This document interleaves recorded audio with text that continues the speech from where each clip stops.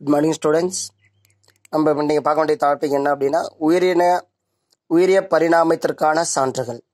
உயிரிய பரிணாமத்திற்கான சான்றுகள் என்னென்ன அப்படின்னா நம்ம அந்த காலத்தில் டைனோசர் வாழ்ந்ததை பற்றி தெரிஞ்சிருக்கோம். அப்போ டைனோசர் இப்போ நம்ம பார்க்க முடியுமா அப்படின்னா பார்க்க முடியாது. ஏன்னா அது அதனோட இனமாக அழிஞ்சிருச்சு. அழிஞ்சதுனால அதை நம்ம இப்போ பார்க்கறதுக்கு ஆவலாக இருக்கோம். அதை எப்படி பார்த்துக்கலாம் அப்படின்னா அதனோட எலும்பு ஊடுகளை வச்சு நம்ம அந்த அந்த சான்றுகளை வச்சு பார்த்து இதுதான் இந்த உயிரினமாக இருந்திருக்கு அப்படின்னு தெரிஞ்சிருக்கோம். ஆனால் அந்த உயிரினங்கள் இருந்திருந்தால் இந்த நாம் இருப்போம் அப்படின்னு கண்டிப்பாக இருந்திருக்க மாட்டோம்.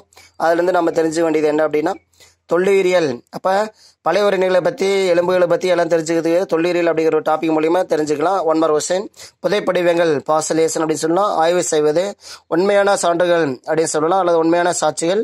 அதே மாதிரி புவியியல் அடுக்குகள் என்னென்ன அடுக்குகள் என்று தெரிஞ்சுக்கலாம். தாவரம் மற்ற விலங்குகள் எச்சங்கள் பாதுகாக்கப்படுதல். அதே மாதிரி புதைப்படிவாக்கம் அப்படின்னு சொல்லக்கூடிய டூமர் வசனம் கொடுத்துருப்பாங்க. பார்த்துக்கங்க. அடுத்தது இதில் மூன்று வகைகள் கொடுத்துருக்காங்க.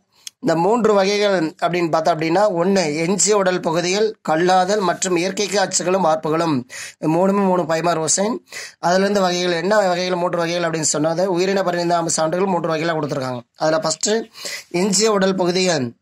எஞ்சிய உடல் பகுதியில் ஒன்று விலங்குகளின் மிக கடினமான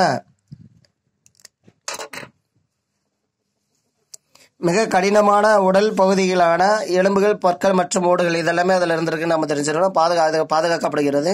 கடல் வாழ் கடல் நீர் உப்பு மற்றும் இந்த உப்பு நீர் கடல் வாழ் விலங்குகள் அதிகமாக இருந்திருக்கு. அதில் இருபத்தெண்டாயிரம் ஆண்டுகளுக்கு முன்பு வாழ்ந்தது என்ன அப்படின்னு பார்த்தீங்கன்னா மாமூத்தி அணைகள். மாமூத்தி அணைகள் ரொம்ப முக்கியமான ஒன்மர் சயின்ஸ் நல்லா தெரிஞ்சு வச்சிருக்கணும் இது எந்த நாட்டில் இருந்தது அப்படின்னா சைபீரிய நாட்டில்.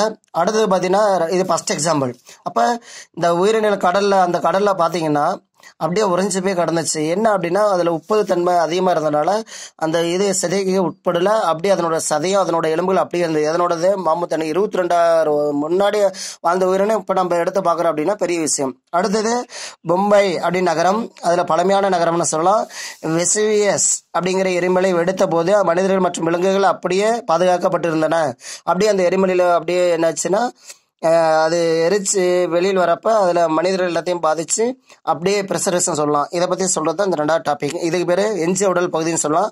ரெண்டாவது கல்லாதல். விலங்குகள் இறப்பதை பற்றி சொல்கிறது இதில் விலங்குகள் இருக்கிறதுனால என்ன அப்படின்னா அந்த எப்படி உயிரினங்கள் இருந்தது அப்படிங்கிறது ஒரு பாறைகள் இடையிலலாம் போய் மாட்டிக்கிச்சு அப்படின்னா அது அப்படியே இருந்து எடுத்து பார்த்தோம்னா அந்த உயிரினங்கள் இப்படியெல்லாம் எடுத்திருக்கு அப்படிங்கிறது அந்த கல்லை வச்சு நம்ம இந்த உயிரினங்கள் இருந்திருக்கலாம் அப்படிங்கிறத தான் கண்டுபிடிச்சிட்டு இருக்காங்க அதில் என்ன செஞ்சிருக்கு அப்படின்னா தாதுப்பல் பதிலடி செஞ்சிருக்கோம் ஒன்மார் வசின் அடுத்து அழிஞ்சிருக்கோம். அடுத்து தான் கல்லாக மாறுது அப்போ சாதாரண உயிரினங்கள் என்னவா மாறுது அப்படின்னா கல்லாக மாறி அந்த படிவு அச்சுகளாக மாறி இருக்கும் அதில் என்னென்ன இருக்குது அப்படின்னு பார்த்துக்கணும் இரும்பு பைரேட்கள் இருந்திருக்கு சிலிக்கா இருந்திருக்கு கால்சியம் இருந்திருக்கு கார்பனேட் இருந்திருக்கு மற்றும் கால்சியம் மற்றும் மெக்னீஸ் கார்பனேட் இந்த தாதுப்புகள் நிறையா இருந்திருக்கு அப்படிங்கிறது. இந்த தாதுப்புகள் மூலியமாக தான் அந்த பதிலீடு செஞ்சிருக்குது. பதிலீடு அப்படிங்கிறது எப்படி படிவம் வருது அப்படிங்கிறத பற்றி தெரிஞ்சிருக்கணும் இதை பற்றி சொல்கிறது தான் கல்லாதல். பெட்ரிஃபிகேஷன் அப்படின்னு இங்கிலீஷ் சொல்லலாம். அடுத்து நம்ம பார்க்க வேண்டியது என்ன? இயற்கையான அச்சுகளும் மற்றும் வார்ப்புகளும். இயற்கையான முறையில் எப்படி அச்சுகள் மற்றும் வார்ப்புகள் அப்படின்னு பற்றி இறந்த உடல் விலங்குகளின் உடல்களை வச்சு எப்படி அச்சுகள் வார்த்தைகள் அப்படின்னு சொல்லலாம். அழியாத பதிப்புன்னு சொல்லலாம். பின்பு கடினமாகிறது அச்சுகள் உருவாகுது. தாதுப்புகள் மூலியமாக பதிலீடு செய்யப்படுகிறது. அடுத்தது உயிர்ப்புகள் நடக்குது. அடுத்து பார்த்தீங்கன்னா கோபுரோலைட்டுகள் கோபுரலைட்டுகள் ரொம்ப முக்கியமானது. இறந்த உயிரினங்களோட கழிவுப் பொருள்னு சொல்லலாம். எச்ச பொருள்னு சொல்லலாம். அதுக்கு பேர் சிறு உருண்டை. இந்த உட இது அதே மாதிரி இந்த கோபுரலைட்டுகள் மூலிமா அந்த அந்த உயிரினங்களை என்னென்ன உணவுகளை சாப்பிட்டுச்சு அப்படிங்கிறத பற்றி நம்ம தெரிஞ்சுக்கலாம் அப்படிங்கிறது தான் கோபுரலைட்டுகள் ரொம்ப முக்கியமான ஒன்றார் ஹுசைன். ஒரு சின்ன எடுத்துக்காட்டு இந்த இடத்துல சொல்கிறேன் சாதாரணமாக என்ன ஆகுனா முயல் நம்ம எல்லாத்துக்கும் தெரியும். முயல் அப்படிங்கிறத பார்த்தா அப்படின்னா அந்த கோபுரல் லைட்டுகள் அப்படிங்கிறது கழிவுப்பொருள் பார்த்தீங்கன்னா அதை சாப்பிட்டது போக மீதி பார்த்தீங்கன்னா அதனோட எச்சத்தை வெளியில் போடுறப்ப க்ரீன் கலராக இருந்துச்சு பசுமை நிறமாக இருந்ததுன்னா மீண்டும் அதனோட உணவை வாயில் எடுத்து போட்டுக்கும்.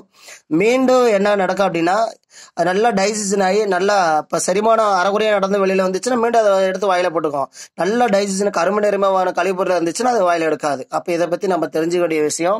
அப்போ இது கோபுர லைட்டுகள். அப்போ உணவு பழக்கத்தின் மூலியம் உயிர் எந்தெந்த உயிரில் வாழ்ந்துச்சு அப்படிங்கிறத நம்ம தெரிஞ்சுக்கலாம். இதோட என்ன முடிஞ்சிச்சு அப்படின்னா இன்னைக்கு டாபிக் முடிஞ்சிச்சு நன்றி ஸ்டூடெண்ட்ஸ்